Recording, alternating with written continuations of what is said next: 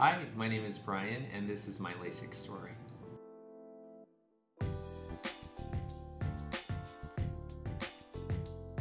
I've worn glasses and contact lenses for about 15 years, so a good amount of time.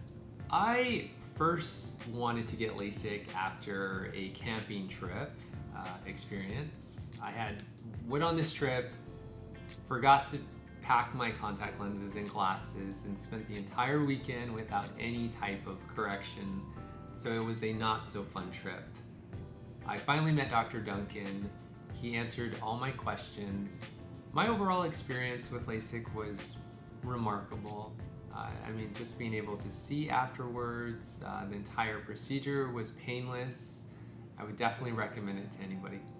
My life's changed drastically after LASIK. Uh, I wake up and can instantly see. I don't have to reach for any glasses or deal with putting on contact lenses. So I usually will just wake up, make a pot of coffee, take my dog out, and then get my day started.